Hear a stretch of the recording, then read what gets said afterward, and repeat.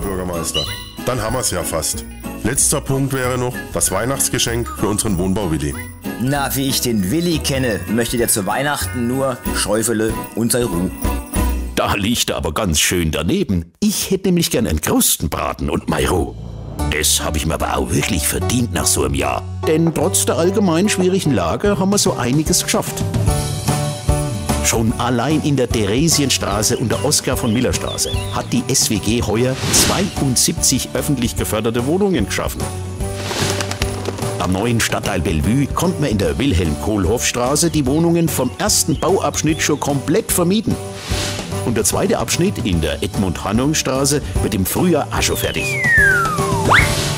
Damit haben wir wieder jede Menge attraktiven Wohnraum geschaffen und sind unserem Ziel, bis 2026 500 neue öffentlich geförderte Wohnungen zu schaffen, wieder ein gutes Stück näher gekommen.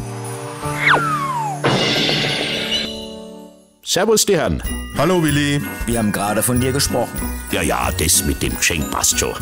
Wenn ihr mir wirklich eine Freude machen wollt, dann helft mir einfach bei den Weihnachtsgrüßen. Aber gerne doch.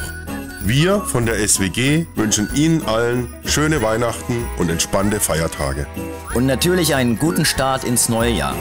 Na dann, bleibt alle gesund und zuversichtlich. Frohes Fest und einen guten Beschluss.